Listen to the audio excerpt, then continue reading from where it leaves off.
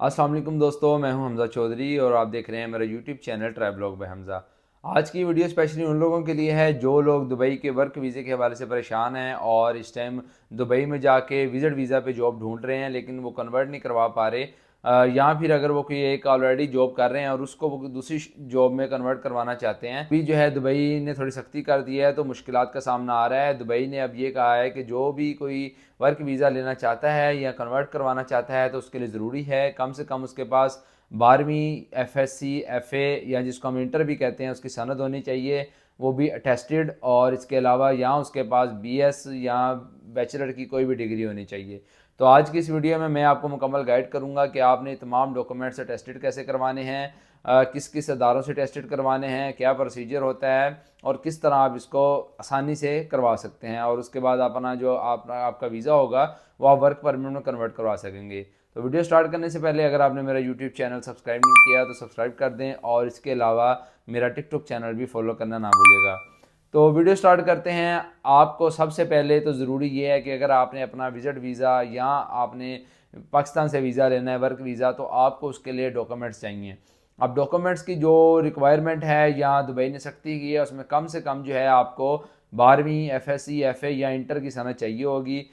जो कोई बंदा अंडर मैट्रिक है, उसके लिए जॉब लेना बहुत मुश्किल है दुबई में। कुछ कैटेगरीज हैं जिनमें उनको जॉब मिल सकती है, लेकिन फ़िलहाल के लिए दुबई ने पाबंदी लगाई है। अभी कोई भी बंदा जो विज़िट वीज़ा से वर्क परमिट में कन्वर्ट करवाएगा या पाकिस्तान से वर्क परमिट लेके जाएगा, उसको ये तमाम डॉक्यूमेंट्स चाहिए होंगे। तो मैं आज आपको बताता हूँ कि आपने ये तमाम डॉक्यूमेंट्स अगर आपके पास बी एस बैचलर्स की डिग्री है F A F S C inter की डिग्री है तो आपने उसको कैसे टेस्टेड करवाना है।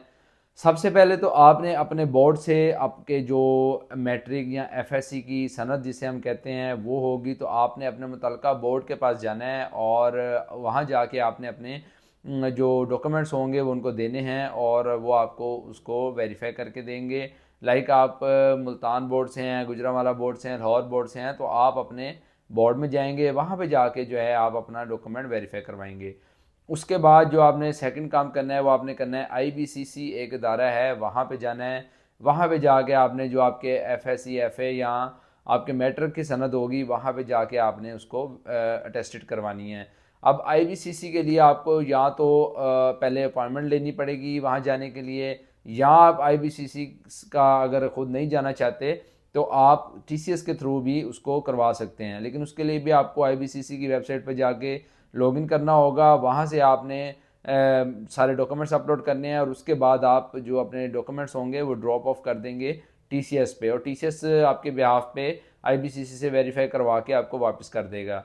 या अगर आप खुद जाना चाहते हैं, लाहौर, इस्लामाबाद, जहाँ भी एफ़ यहाँ अगर आप खुद जाना चाहते हैं आईबीसीसी के काफ़ी सिटीज़ में सेंटर्स हैं, आप वहाँ भी अपॉइंटमेंट लेके जाएँगे ऑनलाइन आप पोर्टल उसका साइन इन करेंगे, उसके बाद आप अपॉइंटमेंट लेंगे, फिर आप जाके डॉक्यूमेंट सबमिट करवा सकते हैं। और आप अर्ली सुबह अगर जाएँ तो आप डॉक्यूमेंट सबमिट करवाने के बाद आपको इवनिंग में डॉक्यूमेंट्स वापस मिल जाते हैं सेम डे में ही।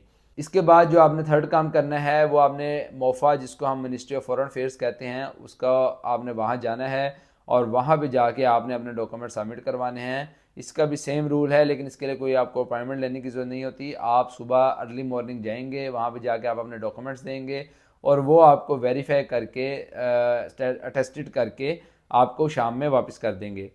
इसके बाद जो फोर्थ काम आपने करना है, वो आपने करना है जो दुबई की एम्बेसी है इस्लामाबाद या कराची में, वहाँ पे आपने अपने तमाम डॉक्यूमेंट्स लेके जाने हैं और वहाँ पे जाके आपने सेम डे में ही वो आपको स्टैम्प कर देंगे और आपने टेस्टेड करवा के वापस आ जाना है।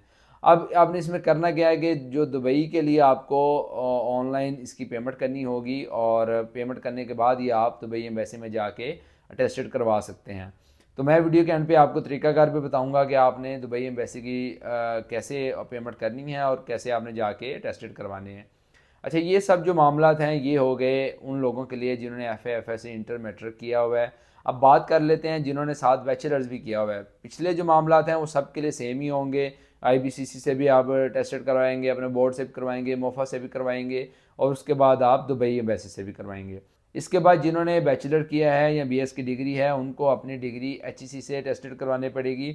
उसका भी तरीकाकार इसी तरह ही है, जैसे आईबीसीसी का है। आप अगर खुद जाना चाहते हैं तो आप इसी तरह ऑनलाइन पोर्टल पे अपॉइंटमेंट लेंगे और खुद जाके आप अपने डॉक्यूमेंट्स सबमिट करवा देंगे। और अगर आप नहीं जा सकते तो आप इसके ऑनलाइन साइन इन करके उसके बाद आप अपने डॉक्यूमेंट्स अपलोड करेंगे। आपकी स्क्रूटनी होगी। स्क्रूटनी होने के बाद आपको वो एक डेट दे देंगे कि आपको जब ईमेल आएगी, तब आपने अपने जो डॉक्यूमेंट्स होंगे, वो आपने अपना टी सी एस पे ड्रॉप ऑफ़ कर देने हैं और टी सी एस आपके बिहाफ पे एच ई सी से आपको डॉक्यूमेंट्स अटेस्टेड करवा के दे देगा। इसकी जो भी फ़ीस होगी, आप उसको ऑनलाइन ही पे करेंगे, जहाँ आप एच ई सी या आई बी सी सी का पोर्टल होगा, वहीं पर आप इसकी पेमेंट करेंगे। इसके बाद जो आपकी जब एच ई सी की डिग्री भी आ जाएगी टेस्टेड होके, और उसके बाद वो डिग्री भी आपने मोफा से ही टेस्टेड करवानी है टेस्टेड करवाने के बाद वो भी सेम डिग्री आपने दुबई एम्बेसी का जो है, वहाँ पे आपने, वहाँ से भी टेस्टेड करवानी है। तो ये तमाम डॉक्यूमेंट्स पहले आपने पूरे कर लेने हैं। इन सब अदारों से आपने टेस्टेड करवा लेने हैं। टेस्ट करवाने के बाद जो आखिरी मरला होगा, वो दुबई एम्बेसी का होगा। जब आप तमाम डॉक्यूमेंट्स इकट्ठे करके दुबई एम्बेसी से भी टेस्टेड करवा लेंगे तो उसके बाद आप जो है, आप अपना वीज़ा या अपना जो आप वर्क परमिट लेना चाहते हैं, उसके बाद आप हासिल कर सकेंगे जब आपकी पूरी टेस्टेशन हो जाएगी।